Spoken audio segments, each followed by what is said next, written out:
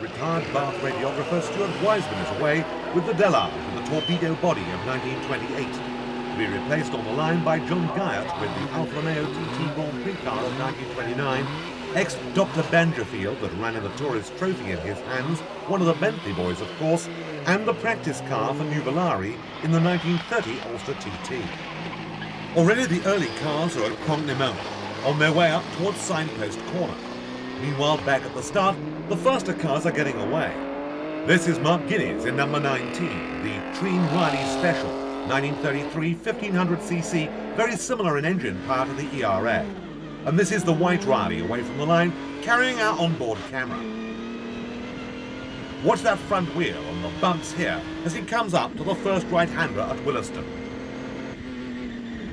Wheel flap under braking. Into the right-hander at Parkfield Corner. And listen out for the sound of the straight-cut gearbox as he accelerates away. The Austin 7 now is already back round the course towards Governors. Coming round past the paddock for the first time. Back with the Riley again as he turns right at Willaston. Meanwhile, Harvey Hine is making progress with his Bentley.